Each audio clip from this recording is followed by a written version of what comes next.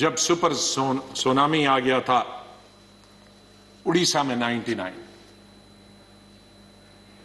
मैं हॉस्पिटल गया अपने पिताजी को दिखाने के लिए और उन्होंने कहा कि इनको गैलेपिंग कैंसर है।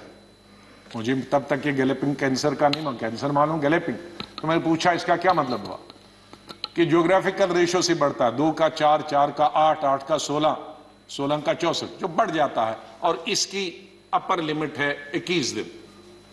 तो इक्कीस दिन आप कहीं मत जाओ। दोपहर को मैं ये लेके आया और सुबह हमने प्रोग्राम बनाया, कहीं जाने का इनको घुमाएँगे। मिसेस गांधी का शाम को फ़ोन आया कि वहाँ साइक्लोन है, कोई दूसरे जनरल सेक्रेटरी हैं, वो जाना नहीं चाहते और तुम ही जा सकते हो।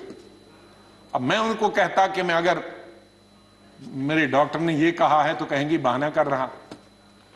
तो मैं अपने पिताजी को छोड़कर, मैंने कहा, दो दिन में वापस आऊँगा गुजरात के, ये उड़ीसा के लोगों के लिए एक नई बात कहता हूँ, क्योंकि इसका, लुल्लू इसका गवाह था, वो इस दुनिया में नहीं रहा। हमारे कांग्रेस का यंग लीडर था यूस बहुत हाउस होल्ड नेम है आज भी। उड़ीसा जब एयरपोर्ट पे पहुँचा तो एक हज़ार आदमी था, लड़के लड़के।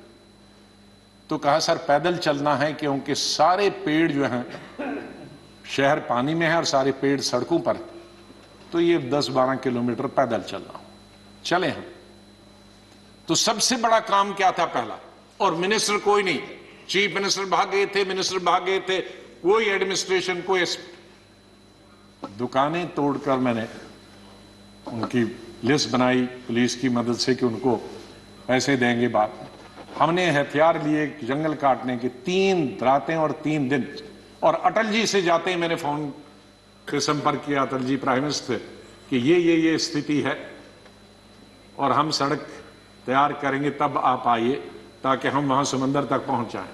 तीन रात और तीन दिन। हम तकरीबन एक हज़ार लड़के यूथ कांग्रेस के मैंने लगाए काटने में और सड़क। फिर पीएम को फ़ोन किया, फिर वो हेलीकॉप्टर से आए। फिर उनसे राशन मंगाया फिर उसके बाद मैंने सोनिया गांधी जी को कहा।